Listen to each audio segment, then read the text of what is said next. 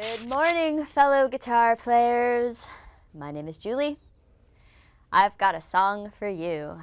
We are going to learn how to play Being for the Benefit of Mr. Kite by the Beatles off their Sgt. Pepper record.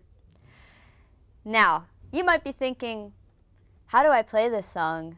It's crazy. There's so many things going on. Well, I'm going to break it down for you. Um, once you get the chords and the patterns, it's not as hard as it looks, and it's actually really, really fun. Let's start. So, our intro, we're going to need these four chords. B flat, A major, D minor, and G. The strumming pattern I'm going to use is kind of a shuffle, kind of a, so I'm like going to pick down up like that in a swing time. So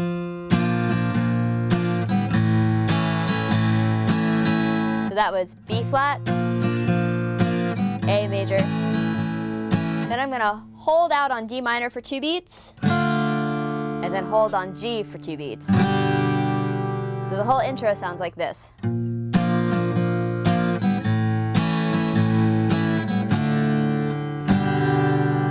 And now we are ready to get into the first part of our song. So, we need these chords. C minor on the third fret, and then we're going to play a G augmented. Now, the easy way to play this chord, what I do is I take my first finger, move it to the third fret of the E string, take that pinky off, leave the rest of my fingers where they were for that C minor chord, and I've got this. And so you have your sharp five right there. So C minor, and then G augmented, and then we go to B flat, D minor, G. So all together that sounds like this. C minor, G augmented, B flat, D minor, G. We're going to strum for two measures.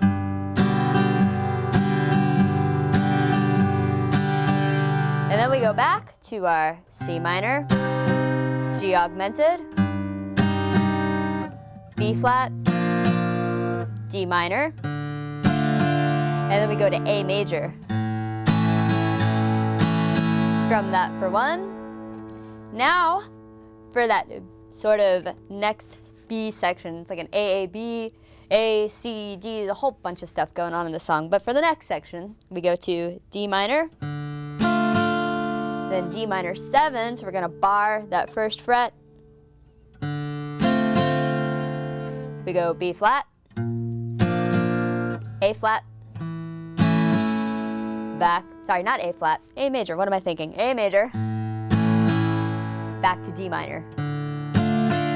So all together that sounds like this.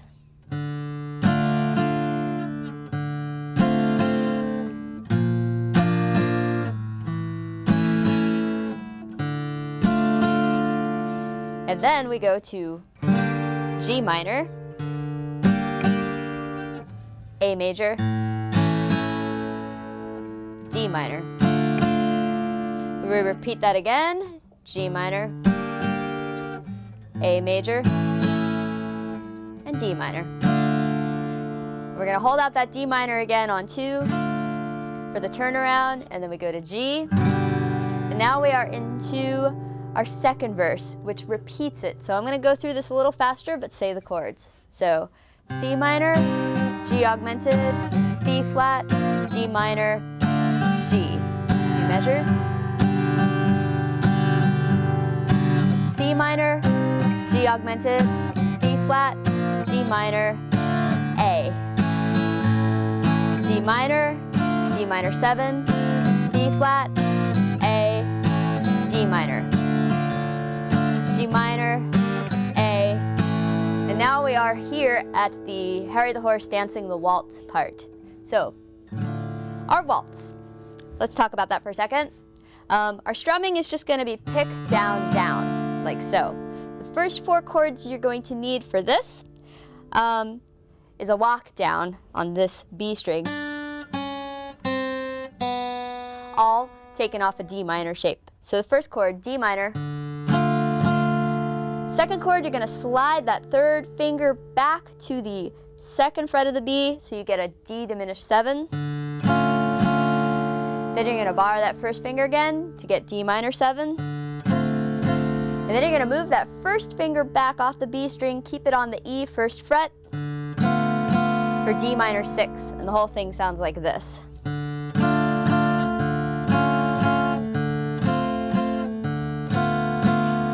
Then we go to A major. Two more times. Then we go back to our little line cliche, our little walk down, D minor, D diminished seven, D minor seven, D6, and then we're gonna go to B minor, or B major, sorry, for two measures. And that leads us to E minor, again, then C for one, B, repeat it, E minor, C, B, E minor. And then we have our turnaround to our third, I guess we could call it verse, and that's on the key or chord of G. And our strumming pattern for this is going to be down, up, down, up, down, down, really fast, like this. And then we go back to C minor, G augmented, B flat, D minor, G. C minor, G augmented, B flat, D minor, A. D minor, D minor 7, B flat, A, D minor, G minor, A. And then we go back into that waltz very briefly on D minor. And then we go to G minor. And then here's an interesting weird little chord. Um, we're going to play an A major flat 9. So what I'm doing is I'm making an A major shape with my first, second, third finger on the second fret of the D, G, and B strings. I'm taking my pinky and I'm putting it on the third fret of the G string to get that B flat like this. So it just happens like this. So I'm to take it from the little waltz parts one more time. Then, and now we come to our ending, our little outro, which is going to be the same chords as the waltz part. So again, we have that little walk down, but instead of playing it as a waltz, we're going to go back to our original sort of shuffle beat. So we got D minor,